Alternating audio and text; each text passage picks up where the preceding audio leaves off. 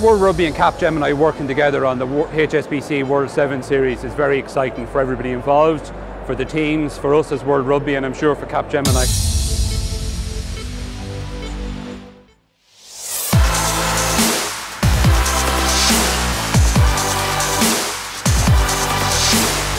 Uh, Capgemini and World Rugby working together is a great mix.